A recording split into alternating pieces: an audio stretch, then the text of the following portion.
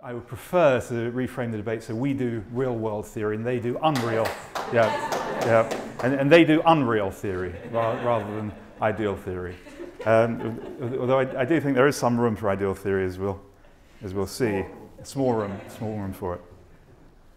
Um, but not only do I, like the others, think that injustice is prior to justice, I also think probably more difficult uh, claim to establish that inequality is prior to equality as well, or at least social inequality is prior to social equality, which I'll try to elaborate as I go on.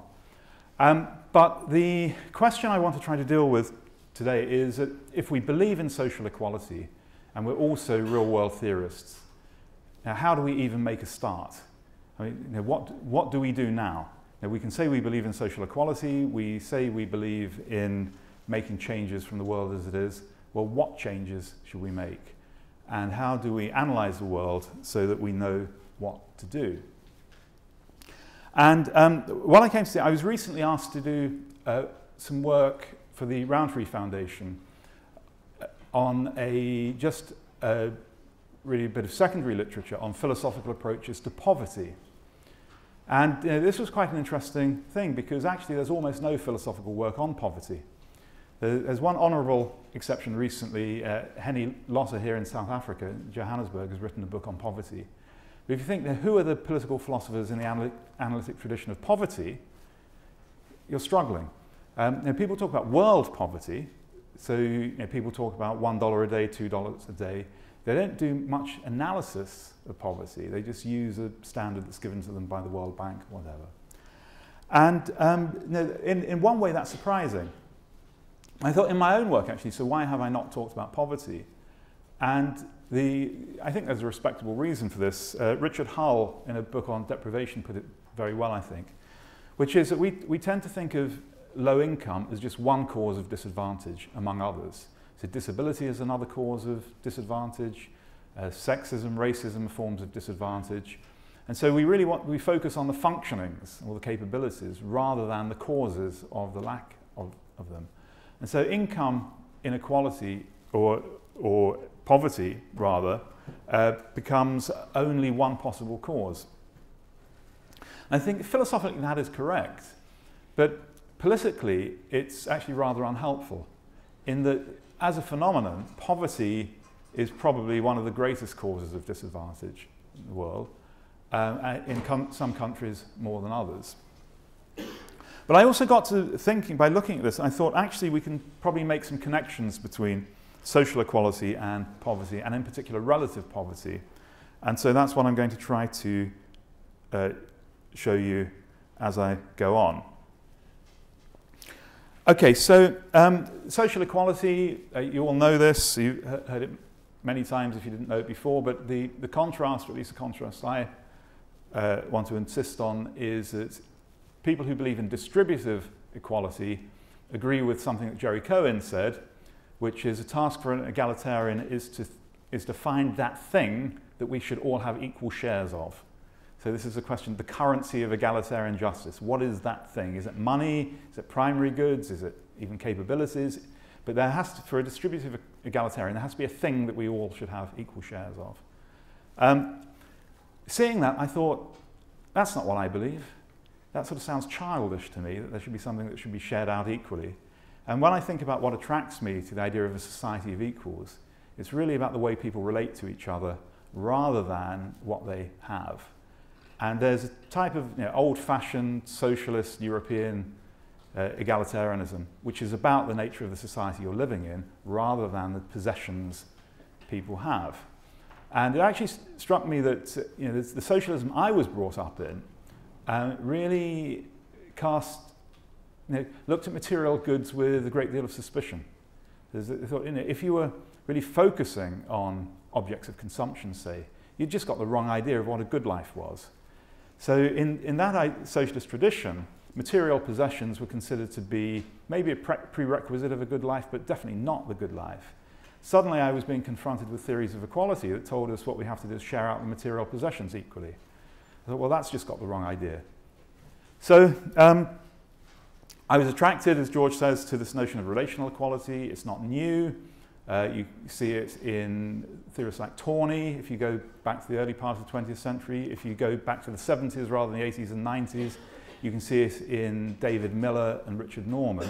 So there's always been a sort of countercurrent of social egalitarians, and, and they've always been ignored in the main journals until probably the 90s. That was, that was a change, I think. So suddenly philosophy and public affairs and ethics got interested in relational equality in the late 90s, having ignored it in the 70s and 80s. So I don't know why. That was maybe a change of editor or something. But uh, anyway, um, we, we, it, it came much more onto the scene at that point. Now, I, I, worked on social equality in the 90s and for a few years afterwards. Um, and then I sort of hit a wall, really. Um, because as David Miller puts it, um, people who believe in social equality, we know what we're against.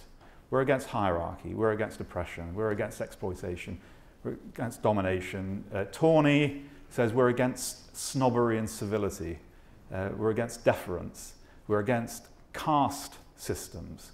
So we know what we're against. What are we for? Um, sorry, there's a fly around here. Um, that's going to look great on the video. Uh, um, so, so what are we for? And um, I couldn't answer this. I got a few PhD students to try to write their theses on it to tell me what we were for. And you know, they, they did a good job of saying what we might be for. But you know, when you look at, say, Tawney, you know, he's a Christian socialist that somehow got to be do with universal love and you know, brotherhood and sisterhood of, of you know, men and women. Something. So I'm not going to sign up to anything with sort of Christian socialist uh, presuppositions. You know, if you go back generations, you've got people who give us other ideas, move forward, civic friendship. Well, what's that? Is that really a thick enough notion? Uh, you know, look people in the eye, okay, I agree with that, but is that my idea of a good society? So when it came to putting forward the uh, positive notion of social equality, I was stuck. And then when you look at other people who've done that, they, they say, so Elizabeth Anderson, for example, has got a very clear account of the negative idea of equality when she tells us what the, poverty, the, the positive idea is, it's really just to say it's a society where people can treat each other as equals. Well, we knew that, but that doesn't really advance us much from there. So um, thinking in positive terms, I thought, well, I just don't have a good model of social equality. But with the turn to um, real world theory, I realized in other areas of philosophy, I hadn't considered the lack of a positive model a problem, or other areas of policy. That is, you, know, you start from what you think is wrong, and you try to get rid of what you think is wrong. And when you've done that, the task is over. You can do other things. Right? So this is rather like the view that Sen crystallized in The Idea of Justice, a book that has been widely criticized, but in terms of the overall methodology, I think he's exactly right. What we need to do is to concentrate on manifest injustices. Now, manifest injustices are not things that necessarily we all know to be injustices to begin with. Quite often there's a type of gestalt shift on something that we need philosophers to point out, not only philosophers, social scientists, for example, to point out something is an injustice. So in Sen's own work, he pointed out that famines are rarely caused by lack of food. That was a shock to all of us. And when we realize that the famines are caused by lack of entitlement to food rather than lack of food, you come to see the world a different way and you see something that looked like natural misfortune as an injustice. Uh, similarly, when he wrote that 100 million women are missing in the world um, because of the way that girls are neglected relative to their brothers, and this was even before selective abortion, so who knows what the figures are now. Uh, you think, well, something's gone wrong in that world. Um, you don't, interestingly, we didn't know that before, because probably in a village there may be one or two girls dying. Um, those are individual tragedies, but when it's every village all over the world, suddenly it's not individual tragedies, but some systematic pattern that we see, and it needs someone like Sen to tell us. So I think we can identify things that become manifest injustices, Marital rape is something that's been mentioned uh, a few times in this conference. I think that's another example of something that no one knew, really even had words for. And this, of course, relates very strongly to Miranda's work about even having a language to describe injustices. So um, I think that a number of things come together here. Um, I, I, would now say, I think that to be someone who believes in social equality is to be opposed to a whole range of uh, asymmetric social relations and probably also atomistic social relations as well. So alienation, for example, would be something that uh, you should be opposed to if you believe in social equality. Um, so what do societies of social equality have in common? Well, I think what they have in common is they avoid these asymmetric and atomistic social relations. And I think there are lots of different ways now in which you could have a society of social equality. So um, I think the Quaker religion, for example, in which everyone treats each other in a very plain way, uh, is an excellent example of social equality. Uh, you, know, you couldn't force it from the point of view of social equality. It's not a society I want to live in particularly, um, but it's a fantastic society from the point of view of social equality. Some you know, 1960s San Franciscan hippie communities were also societies of social equality, very different to the Quaker societies, uh, probably in every possible respect, um, other than, at least in theory, avoiding asymmetric and alienated social relations. So, in other words, I would say, would say that um, social equality can be multiply realized. There are many, or another way of putting it, there are many uh, sufficient conditions for social equality. There are some necessary conditions, but they're all negative about avoiding the uh, asymmetric and uh, atomistic social relations. So um, there, are lots of different ways of having society of social equality, and if we're making a choice between them, we're probably making them a choice on other grounds than whether they're achieving equality or not. So that's a picture I want to, uh, what, what, Oxford philosophers say, commend to you. That's a picture I want to commend to you, uh, that you ought to agree with me, I hope, but I don't have any other arguments for it other than this is a picture that seems to me to be uh, an attractive one. Um, so, in a way, that was my first problem for social equality. What is it? And the answer is it's much easier to say what it isn't than what it is. Second problem, um, I opposed social equality to distributive equality. But um, you might want to say there has to be surely some relation between social equality and material equality. And I think there are two things to say here. Um, so one is that you know, I am convinced, I think, that if you have a society of absolutely gross material inequality, then it's going to be very hard indeed to achieve social equality. So I think as a prerequisite for social equality, some level of material, probably sufficiency rather than equality is needed at the bottom end. I think it's much more controversial about the top end, that if you do, you know, is it impossible to have a society of social equality with some super rich people?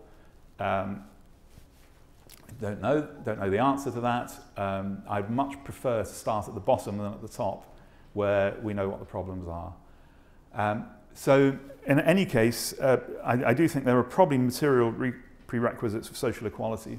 But also, I don't want to say, I don't want to go as far as to say that material comfort has no place in a conception of equality. I mean, that would be absurd, I think. So, uh, what, what I would want to do is to present a type of hybrid view. And um, I'm taken actually by something I saw in a work called The Principles of Economic Planning, written in 1949 by Arthur Lewis. Now, Arthur Lewis uh, is from St. Lucia. He is, I'm told, the uh, first black man to have won a Nobel Prize for anything other than peace. He was a development economist. Um, I, was, I meant to look it up this morning. I didn't get around to doing it. I don't know if any black men have ever won the Nobel Prize for anything but peace or literature or Arthur Lewis. I don't know, Charles, whether you know of any other. You don't think so? So he's probably the only uh, Black Nobel Prize winner for anything other than literature or peace, I should think. And, and um, so anyway, he was writing in the 1940s. And he was just describing his view of what the socialist wants. And I'm not sure he was endorsing this himself, but I thought he, he, he put it very nicely. So what he said is that uh, as a minimum standard, what the socialist wants is a society in which every child shall grow up in pleasant homes and attractive surroundings and with good educational opportunities, in which every adult should be provided for in sickness and adversity, and in which the pensioner can take untroubled ease. I thought, well, that sounds nice. I like, the, I like the sound of that. That doesn't sound like too much to ask to me. no, that, that sounds like a sort of modest aspiration that sounds, sounds like um, something we could all aim for. No, the child is included. The child needs a pleasant home, attractive surroundings, good education. The adult should be provided for in sickness and adversity. I mean, that obviously could cover a whole range of things. And in which the pensioner can take untroubled ease. Uh, what I particularly like about this, actually, is, is the focus on the whole life. And that you know, much political philosophy just seems to focus on the working life. Whereas I think the greatest inequalities we probably see in terms of living standards and health are in the retired population or the population that would like to be retired but can't be because they're still having to work. So I think you, know, you really see inequalities, say, in the over 60s much more than in the working population, where you know, academics like me will have a decent pension, probably uh, much less expenses because we'll have paid off our, our mortgage, kids will be off our hands, so we probably have the highest living standard we've ever had. Whereas those who are in rented accommodation, who don't have a decent pension, who still have uh, dependent grandchildren possibly around with them, are going to have a miserable time and probably in poor health, which they've ruined through terrible working conditions. So I would encourage political philosophers to look at inequality among the elderly, which is a topic I don't think we've even begun to look at, actually, although I think some sociologists uh, are doing that now, of course.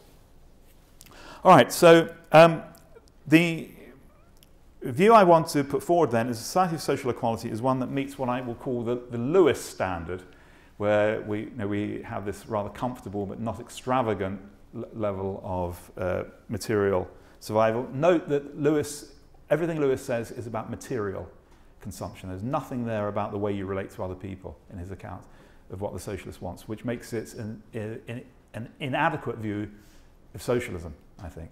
But it does give you the materi- a material level uh, that socialists could rely on. Okay, but now we hit the really hard problem, which is in every society in the world we haven't, we haven't met the Lewis standard. That there's no society that gives uh, every one of its citizens what Lewis thinks the socialists wants. And also, of course, uh, most societies in the world, probably all of them, have not overcome the social inequalities, exploitation, oppression, domination, snobbery, civility. Um, and it does seem to me now that um, our aspirations for what can be achieved, particularly in relation to hierarchy, are um, maybe people on the left, including myself, have been over optimistic about what is possible for human beings to achieve in terms of overcoming hierarchy. Um, you know, two bits of literature, very different. One from Freud, uh, Freud commenting on the Russian Revolution, said, well, you know, the Soviets thought they could, they could overcome hierarchy by abolishing classes, abolishing economic classes because they'd seen economic domination and thought that hierarchy went with economic uh, oppression. Well, I've got bad news for you. If you equalize economic uh, incomes, then the hierarchy will just reassert itself in some other form, perhaps through, the, through party membership, he said. Uh, this is in the 1920s, in civilization, it's discontent. So it wasn't really a prediction because he was seeing what was already going on. Um, Michael Marmot, very different uh, area of thought, works on the social determinants of health. Um, and he is one of the people who has pointed out to us that every society has a social gradient in health. That is, um, the poorer you are, the, on average, the lower your life expectancy and the worse your health. Uh, and this is true for all societies in the world at the mo- in, in the modern age. Um, he, he came to this view by looking at the uh, British civil service um, he'd been called in to investigate the claimed phenomenon of executive stress, which we all knew about in the 1970s and 80s. This is a hypothesis that if you're at the top of a hierarchy, your job is so stressful it's going to be bad for your health. And the civil service, no doubt the top civil servants, called him in to demonstrate this. And what they found was the exact opposite, um, which is you know, the higher you are in the hierarchy, the better your health, to the point where permanent secretaries on average live longer than their deputies, and they live longer than their assistants, and this goes all the way down to the post room. And the people having the most heart attacks are the people at the very bottom, um, whereas it's only when someone at the top has a heart attack that anyone notices. And, and that's why you, know, you get the, sort of the myth of executive stress. There is no such thing as executive stress as being bad for health. Uh, he made the distinction between acute stress, which the executive has, but that's over. So you have stressful events and then you relax. But what is really problematic for your health is to be under chronic stress, which never goes away.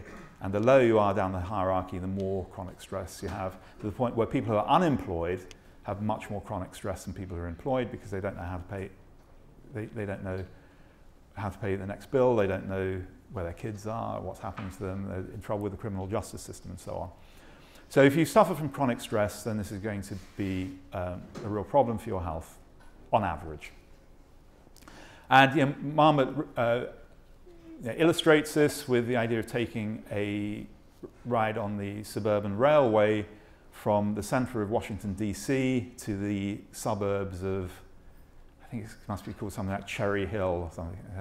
Um, and there are 20 stops on the, on the, on the railway, and for every stop, life expectancy increases by one year because you've got the deprived living in the inner city and the very wealthy living out in the suburbs. And, and he, he can do a similar thing in London, but he's got to choose his route very carefully because London, uh, London is not quite the same in the, in the way that segregates the rich and poor as uh, American cities do. So, um, so he's very keen to remove hierarchy because he thinks hierarchy contributes to health inequality. But he's not optimistic that we can do this. Um, and he, he really wants to do it, if, as far as anyone can do. But he points out that, um, and other people have done this work, in primate studies, primates just develop their own hierarchies. And to the point where you can have, take five hierarchies, you've got five leaders, and each of these hierarchies, put them together, those leaders will establish a new hierarchy of those five. Um, and you know, we are primates, we have a genetic inheritance, we will be inevitably falling into hierarchies. What we have to do is accept that and mitigate it rather than ignore it. Uh, but you can see, I mean, from Anne's talk about the way universities are sorting themselves out into hierarchies, uh, socialist groups sort themselves out into hierarchies, you know, both internally and externally. And we, don't, we just don't have good examples of non hierarchical human relations sustained over a period, I think. So I'm, I, I, think we need to mitigate hierarchies as much as we can. I don't like them, you know, we'd like to get rid of them as much as we can, but I don't think we can wish them away, unfortunately. And I don't think it's because we've been brought up under capitalism, because primates haven't, on the whole. Um, all right, so um, what do we do? Well, there are some things we can do. So hierarchy is inevitable, but exploitation isn't, domination, oppression, there are many of these uh, asymmetric social relations we might well be able to address. And, and you know, societies have dealt with hierarchical relations in different ways. But um, how do we deal with the material deprivation that we see in many places? What are we going to do about trying to bring more people up to the what I call the Lewis standard? And here I want to look at work on, on poverty. Um, so much discussion of poverty starts with work by Rowntree from 1901. And he has a very simple, perhaps oversimple definition of poverty, which is poverty is essentially not having access to a level of resources that are sufficient for you to, make, to maintain your health.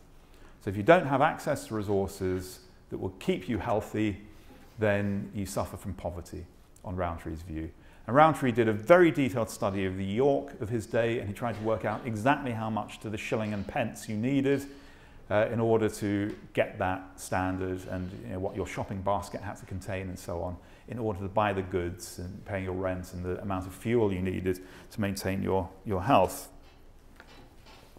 Now, Rowntree made a distinction that I haven't seen used very much in the literature on poverty since which is a distinction between what he calls primary poverty and secondary poverty. Now, primary poverty is, as just described, not having access to resources that allows physical health. Secondary poverty, which is really interesting, I think, is having access to that level of resources, but spending them on other things. That is, you've got enough money, you've got the 14 shillings and 11 pence or whatever it was in York at that time that would have allowed you to buy the right basket of commodities, but you weren't. You were spending some of your money on other things. And um, Rowntree was a Quaker. Uh, he was particularly interested in people spending money on the demon drink here. So instead of buying healthy goods for their kids, they were, they were going to the pub. They were also gambling as well. And so it's interesting that in York in 1901, people who could have spent their money on healthy food were not always doing that. They, were, they would rather go to the pub than have an adequate diet. They'd rather, go to the, they'd rather gamble than heat their homes in some cases. And this he found um, obviously very troubling. Um, I think also we need to add, in a way, the converse to secondary poverty. So there's a little puzzle, I think, about um, people who do manage to achieve a level of consumption, but only through very irregular and informal ways of getting the resources. So take someone who, who's a beggar and they manage to beg enough to get decent food, say, suppose they do that. Or someone who manages to get to that level by theft or as often happens, for example, in the uh, refugee camps after civil wars, you know, orphan teenage girls managing to get what they need through transactional sex. So these are people who do have access to the level of resources, but through illegal or demeaning or dangerous ways of achieving that. Are they poor or not? Now, by Rowntree's definition, they're not poor because they have access to that level of poverty, of, of resources. But it seems to me we want to say they are poor, even though they're achieving a certain level of consumption.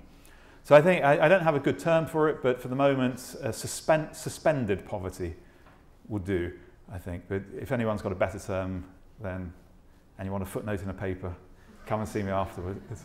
Uh, so anyway, this idea that you can achieve a certain level of consumption, but only through illegal or demeaning or dangerous, or very dangerous means. And interestingly, I think suspended and secondary poverty will often go together. The people who are engaging in criminal activity, uh, you know, transactional sex, in order to get enough to live on, may actually want to have high quality leisure rather than food, having done that. Um, so, uh, okay, so, so these are concepts from Rowntree and an extension of his account. Now, in the 1970s, particularly in the late 1970s, the notion of relative poverty became very much more influential, particularly in the UK, uh, because it was thought that in the UK almost no one lives in absolute poverty. Or, you know, almost no one is in a position where they can't get a decent diet. But we didn't want to say poverty has disappeared. So what do we mean then by poverty if we've achieved the absolute standard? And there's a very famous definition from Peter Townsend in a book from 1979. This is very widely quoted. Uh, I'll just read it out. Individuals, families, and groups in the population can be said to be in poverty when they lack the resources to obtain the types of diets, participate in the activities, and having the living conditions and amenities which are customary or at least widely encouraged or approved in the societies in which they belong. Uh, their resources are so seriously below those commanded by the average individual or family that they are, in effect, excluded from ordinary living patterns customs, and activities. Okay, so these are people who can feed themselves, they can heat their homes, they can clothe their kids, but they can't take part in the activities that are customary or at least widely encouraged or approved in their societies. And so they're in effect excluded from ordinary living patterns, customs, and activities. So when I read this, I thought, well, this is very interesting from those of us who believe in social equality because we've got poverty here now defined in terms of inclusion or lack of inclusion. So relative poverty and social inequality have at least one overlap here. They're not the same thing because this is only about inclusion and exclusion. So that's only one aspect of social inequality. But I thought, well, maybe we can get some mileage out of, out of the literature on relative poverty in thinking about social equality. But of course, it's a thought that had been had for a long time. Um, Amartya Sen quotes Adam Smith several times. Um, Smith points out that in the, the Britain of his day, there were things that you needed in order to be seen in public without shame. As Smith gives two examples that I know of. One is leather shoes, and the other is a linen shirt. Um, so these are things that anyone needs if they're going to appear in public without shame. You don't need them to keep warm because there are other types of clothing you could wear, but these are customary or expected in your society, and if you don't have them, then you will feel ashamed of yourself. You will not want to be seen in public, or you'll be ashamed to be seen in public. And you know, this is something that uh, you know, the, the, testing ground of viciousness and inequality is a school playground. And you know, for kids who don't have the right clothes, even if they can function just as well as anyone else in the clothes they're wearing, they will feel ashamed of themselves and they will feel that they are poor, even if they're meeting every physical standard of efficiency.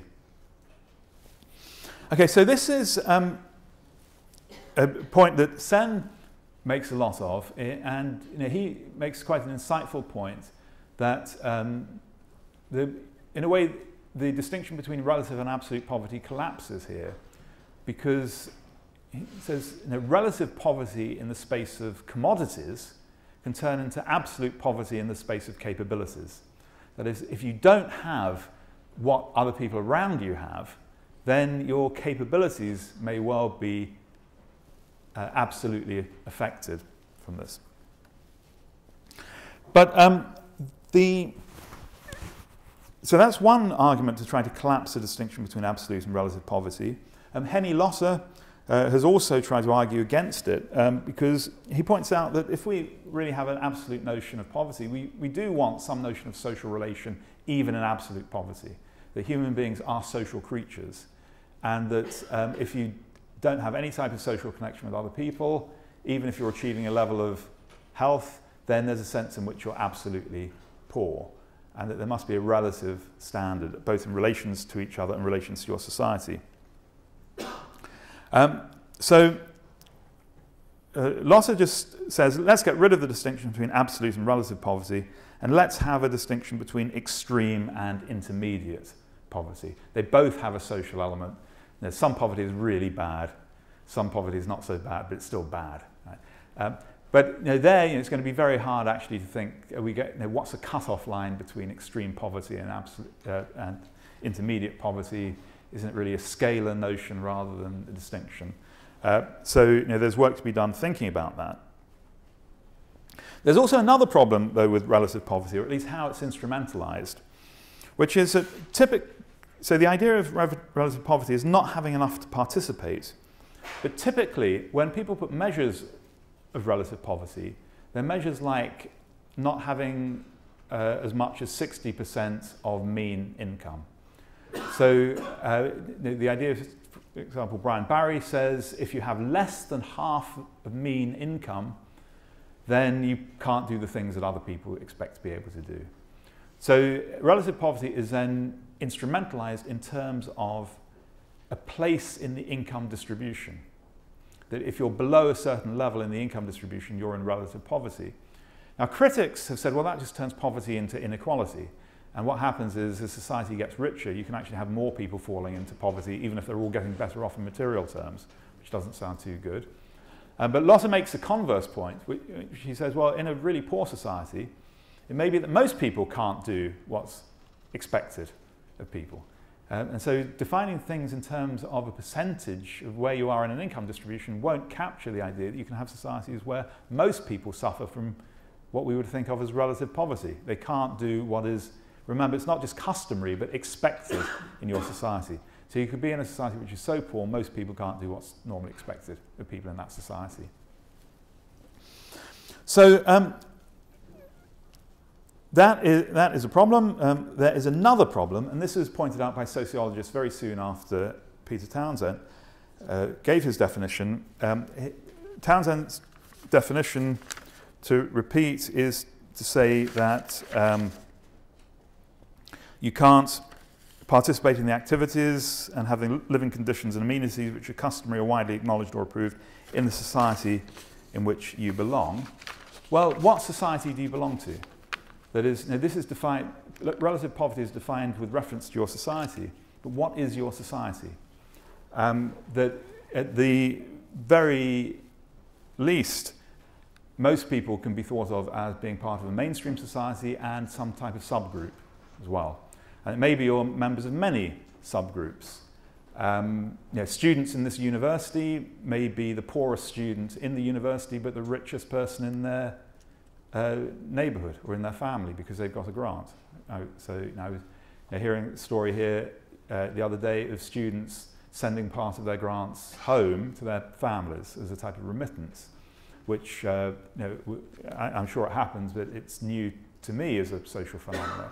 So you can see someone who moves in two circles, and I think this is often true for uh, you know, recently arrived immigrants in the United States who are taking very low paid and status jobs in the US, but sending home what seems to be quite a lot of money back home, even though it's a small proportion of what they're earning. And they, are sort of the big person back home, but at the bottom of the heap in the US.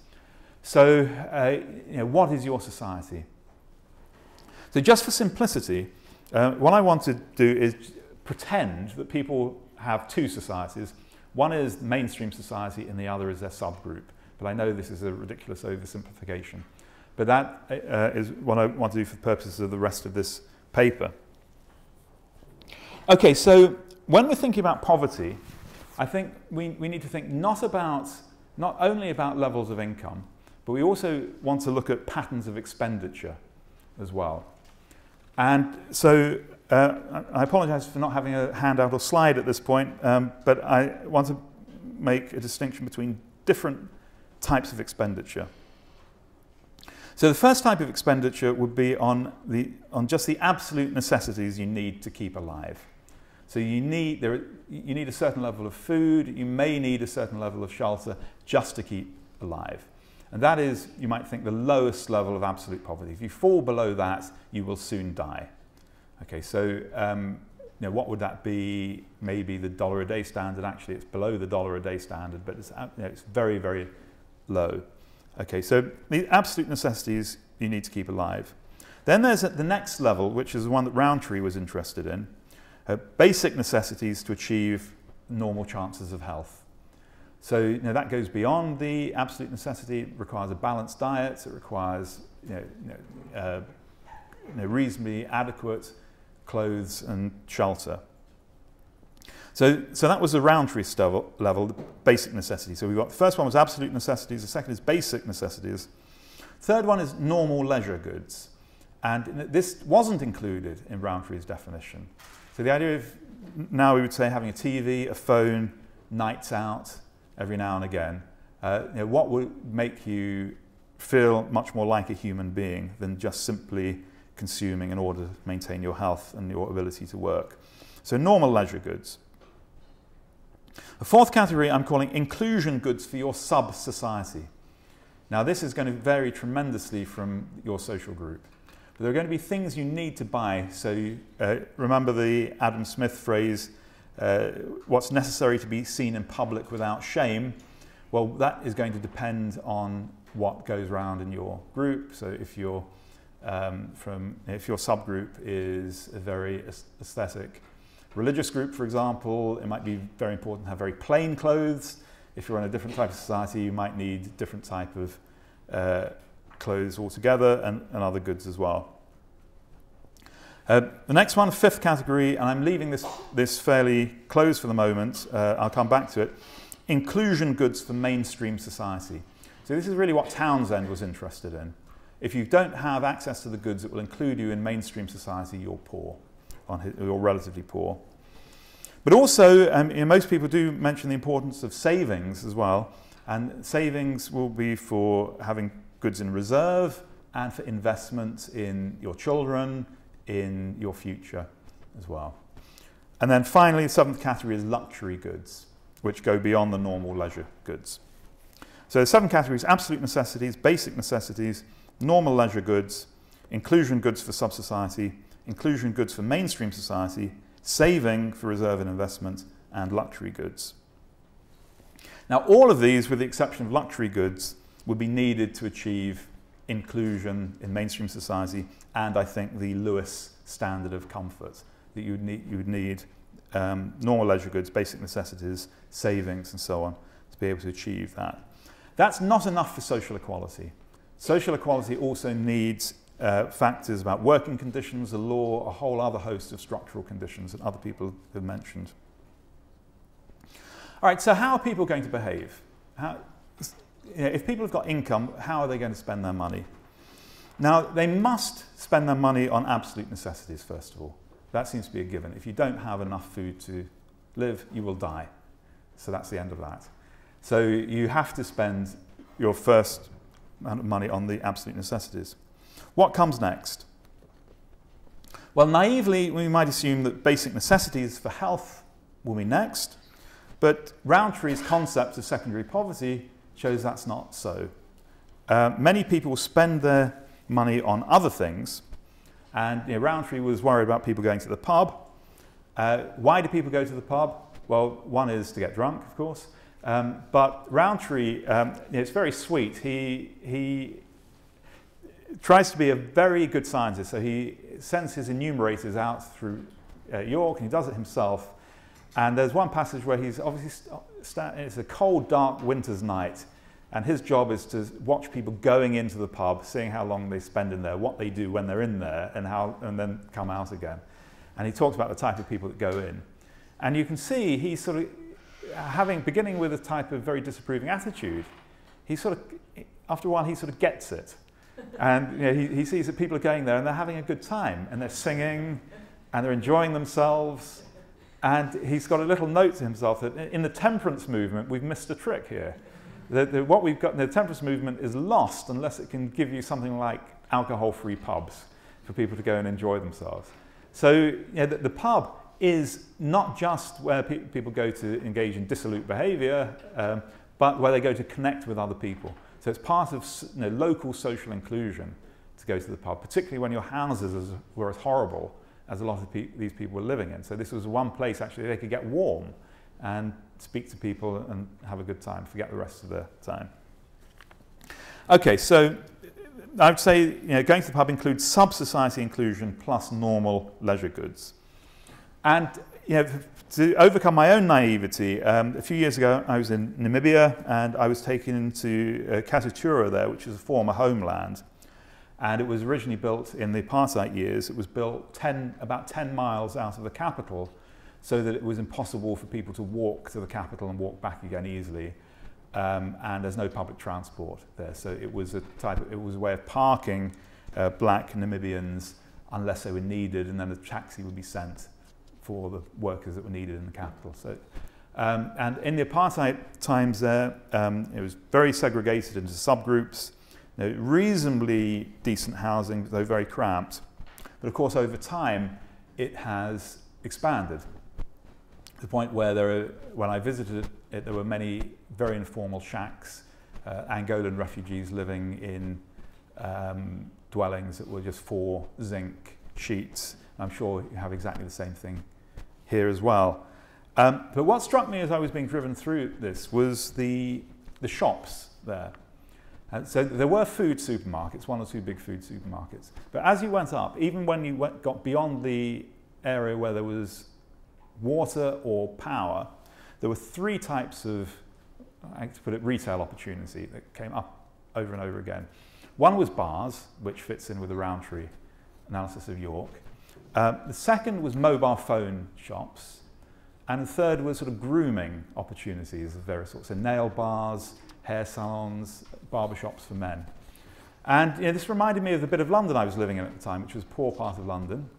Uh, like many academics, we find nice, nice houses in poor bits of town.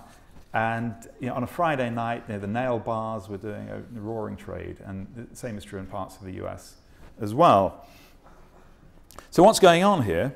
Well, it, I, I, came away thinking that actually, for most people, um, what the, this shows is that connecting with others and looking good has a higher priority than maintaining your physical health, uh, at least in the short term. That instead of spending money on food, people spend it on grooming, on mobile phones so they can call their friends, going to the bar so they can meet their friends. So those notions of social connection uh, seem to be, for many people, a higher, certainly a higher preference. Whether we call it a higher need, I think is, would be an interesting question. And um, I, I, was amazed. I'm, I'm teaching here some uh, writings of Marx, early writings of Marx, and so I'm rereading uh, texts that, in some cases, I haven't paid a lot of attention to in the, every year.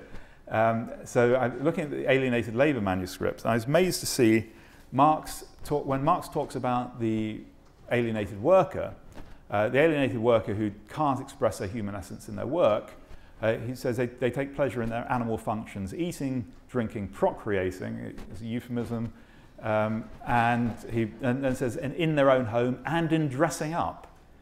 So this is you know, really interesting. 1844, Marx is saying that people are taking, you know, people are performing, dressing up because they can't express themselves in their real life. It's a type of how you express your human essence in alien, under alienated circumstances. But of course, you know, 1844, Marx in these texts had been reading Adam Smith's Wealth of Nations, where Adam Smith makes the same points about linen shirts and leather shoes. We go back and back and back. So how people are seen in public seems to be an incredibly important uh, matter to them, and certainly, you know, in the writings we have from the 18th century, but no doubt it goes much, much before that. Okay, so what is going on here? Well, well, people are spending a lot of money on local inclusion, or they're spending a lot of their budget on local inclusion. Um, why are they doing this, and is it a problem? Well, first let me answer the question is whether it's a problem. There, are two ways in which forms of local inclusion are problematic. One is a direct way. So there are things you can do to yourself to be included locally which will then create problems for you if you want to join the mainstream society. So in, in many societies having a tattoo, for example, a tattoo on your face, that could be what gives you street credibility where you live. It's not going to be so good when you go for a job interview. Okay.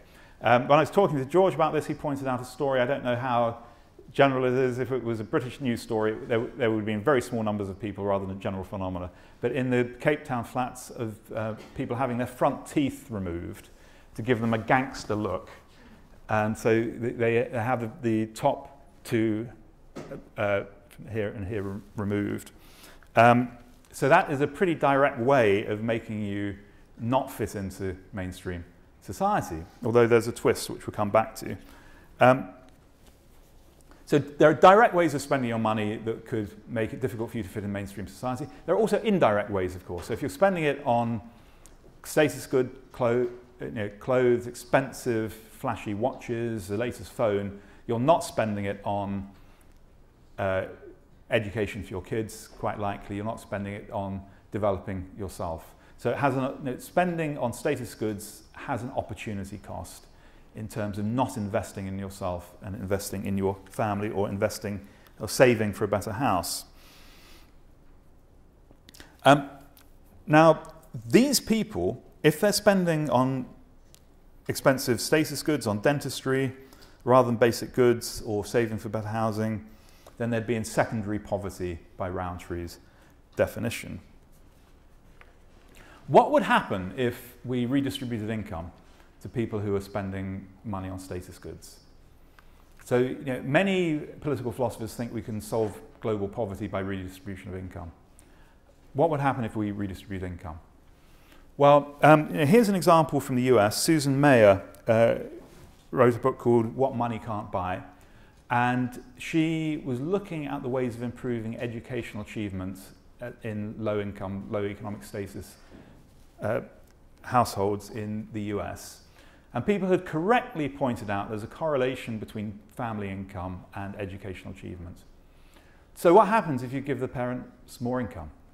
You know, do the kid, does the kid's school achievement go up? Well, yes, if the family is really poor. So if they're sending the kids to school ill-nourished, if the kids are too hungry to learn, then giving the families some more money, they could feed the kids properly, then the kids can learn better. So at very low levels, higher income does help school achievement. But at higher levels, she says the advantage is minimal because what people spend the money on will not be the things that improve their kids' prospects. So they, they'll buy a better car, there's good reason for doing that, buy better furnishings, fantastic, but that's not going to help your kids in school. And you know, she points out that the relation between income and school achievement for kids, family income and school achievement for kids, is much more complicated. That children of graduate students, well, graduate students are not very wealthy in the US, that they count as poor by income measures, but their kids do fine at school. So you know, it doesn't seem to be that there's any obvious direct relation between income and achievement. It's rather the things that go along with low income rather than the low income itself. All right, so um, the question then is whether it's rational to spend money on status goods or not for people in this position. Um, and I think that we, we now have to look at structural issues in order to understand this a bit better. Um, the problem in some societies, and I think this, is, this society is, is a clear example, is um, the type of opportunities uh, poor people have to improve their situation. So um, you can imagine a society, I think this is a society, imagine opportunity as if it's rungs on a ladder. Now, you can have a society where the rungs on the ladder are relatively evenly spaced. So if you have aspirations to improve yourself, you can do that quite easily. You can move up to the next rung you know, it takes work, takes sacrifice, but you can do that. So you have to invest to do it. There are other types of societies where you've got some rungs clustered at the bottom, some rungs clustered at the top. And it's very, very difficult to move from the bottom cluster to the top cluster. Um, so in South Africa, it can be done. There are entrepreneurs who do it, sports stars do it, uh, music stars do it, fashion models do it. But these are tiny numbers of people um, as a proportion of the population as a whole. So if um, the opportunities you have facing you are really to spend your money on making you feel better about yourself, to fit in better with your society, or what, then why not spend it on status goods? Whereas if you've got a situation where there are some you know, reasonable aspirations at the next level, then you have a real choice there. You have a choice about whether you're going to spend money fitting in with the group you're in or whether you're going to do better to try to achieve the Lewis conditions for your family. So you might think, I'll, I'll save money and spend it on house improvements, but if I spend it on house improvements and things get stolen, well, why would I do that? So there's a lot of research on a type of instant consumption. That, uh, there, there's an interesting book called Portfolios of the Poor and how people live on $2 a day. And one conclusion in this is that it's actually not too difficult to live two, on $2 a day if you got $2 every day. But the problem for a lot of people on $2 a day is they get the money in a very lumpy way. So they might not get anything for a month and then they get a lot of money. If they've got a lot of money, then everyone around them will want it. So what you have to do is spend it quickly. So at least you're spending it on yourself so that other people don't get it. So you, you spend it on parties or you treat your friends. Uh, and so it's that irregular structure and of course, everyone knows you've got the money because you've been working for a couple of days, so you can't, even, you can't pretend you haven't. So you have to spend it quickly if you're going to consume it at all yourself. Now, it, it may seem, you know, what I'm saying is very conservative, in a way it is. I'm, I'm suggesting that we need to think about social mobility and structures of social mobility. Is it patronizing to think that uh, you know, poor people will want to join the mainstream? Well, you know, here's a, another bit of um, work, uh, survey work that was done in a book called Poor Economics by Esther Duflo and, and Banerjee. And there she's looking at microcredit. And a lot of people think microcredit, I, I think this is a less fashionable view now, but lots of people thought access to microcredit would be a way in which poor people would be able to improve their lives. And there was a view that you know, poor people are natural traders and all they need is a bit of capital and off they can go and trade and the world would be fantastic. And it is true that there are some people who are natural traders, and if they're given some capital, they can trade. Some people are very astute. Um, but uh, Esther Duflo says if you ask those people what they want for their children, do they want their children to be business people, entrepreneurs, traders with big capital? The overwhelming view is what people want for their children is a safe government job with a pension. And this is, you know, so when I was growing up, you know, this is what people wanted for their kids in England. The, the government jobs aren't so safe anymore now. Uh, and I think they want their kids to be bankers because even if you get the sack, you've had so much money in a short time, that's fine. Um, but you know, th- this idea is you know, what you want is for your children not to have to struggle like you've struggled. And um, I, now, I think we see this all, all through. In fact, in 1985, when a study was done, second Carnegie report, the only way in which black people, on average, could get a decent living standard in apartheid South Africa was by working for the government in one form or another, whether it was central government or local government. This was the only way people were getting above the what was called the supplementary living standard on, on average. Okay, so um, the, the, the thought I have is that we, we're stuck at the moment in societies where consumption will be channeled into those things that make you fit in better with your subgroup. And that could be fantastic. You know, you might think this is multiculturalism on a big scale or something. Um, but I, I, think it's often the case, not always, often the case people are doing that because they've got not, they don't have any alternatives. They don't have any real alternatives. And so, although this doesn't sound like a society of social equality, in order to get closer to social equality, we do need to do things to improve social mobility. And this has got to be structural. And in South Africa, um, the, there are barriers to social mobility. Um, you know, the elite now doesn't want their position to be undermined. Um, I, I, said that for uh, black people under apartheid, the good jobs are in government. That remains true now for many people who are in the, in the uh, elite. And you know, public choice economics tells us that if you've got a job, your first incentive is to make sure you still have that same job next year or a better one. So every bureaucrat's first, uh, first incentive will be to make sure they remain in the job. Similarly for academics, of course. Now, now what we want to, if we've got a job now, we might think what we, our, our main job is research and teaching. No, it isn't. Our main job is making sure we've still got a job next year and doing whatever is needed in order to make that possible. So those people in power are, are reluctant to give it up. Uh, why would you, uh, unless you're extremely self-sacrificing? But there are types of barriers to social mobility. Um, you know, people telling me it's very hard to start a new business here. Uh, it's very difficult to get the papers sorted out. So there's a lot of informal business going on rather than people joining the formal business sector. Uh, it pains me as an egalitarian to say this, but what we need seems to be what we need to do in the first step is to free up the market here, that uh, at the bottom end of the market rather than the top end of the market, where the problems have been. Um, but the battle for social equality, I think, is now a structural one here. Uh, you know, this is not news to anyone in this room.